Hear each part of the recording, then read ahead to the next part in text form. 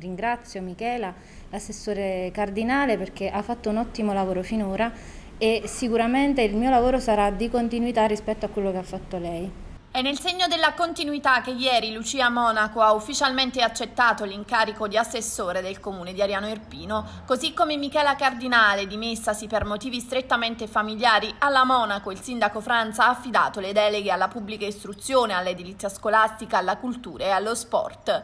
Per Lucia Monaco, insegnante, classe 83, è la prima esperienza politica dopo la candidatura nella lista dei 5 Stelle a sostegno di Franza lo scorso anno.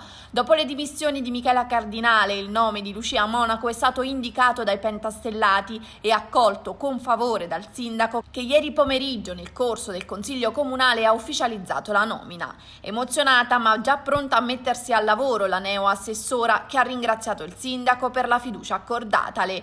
Credo in questa amministrazione, le sue parole, ritrovo una famiglia. Eh, ritrovo una famiglia, ecco, eh, il, il gruppo è un bel gruppo, l'amministrazione è una valida amministrazione, secondo me continuo a credere in questa amministrazione e quindi eh, potrò dare, continuare a dare il mio supporto, volentieri. Lei si aspettava questo incarico? No, no è stata una sorpresa e, e ringrazio vivamente per la fiducia che mi hanno dato, spero di fare del mio meglio, insomma sicuramente mi impegnerò per dare del mio meglio.